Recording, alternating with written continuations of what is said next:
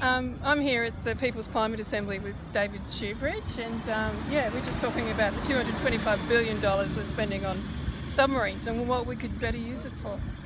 Well, yeah, as a Greens MP, the thought of spending $225 billion of our collective money, you know, this is money that's meant to be used for a public purpose. We're here in Canberra, shrouded in smoke. This is the capital has been surrounded by fires. The whole eastern part of the state has been surrounded by fires. And the thought that we're spending 220 odd billion dollars on like 12 subs to creep around the ocean floor, allegedly to make us safer, while we're facing this kind of genuine existential threat through the climate crisis. That does my head in. I don't know about yeah, you. thank you. Yeah. yeah, yeah, and we won't have the first one for 15 years.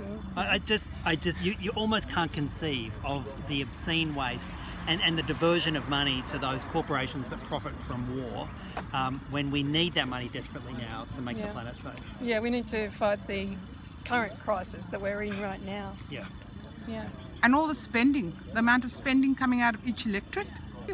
Literally $225 billion is a billion dollars in every single electorate, federal electorate in Australia. I mean, you've got to sometimes step back and, and, and try and understand the scale of the waste that we have on defence expenditure.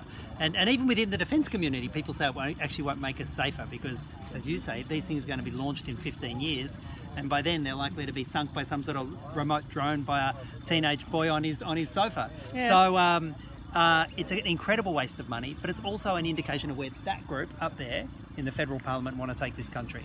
Make us anxious about our neighbours, make us less safe, and don't deal with the current crisis. Thank you, David. Cheers. Thank you, Cate.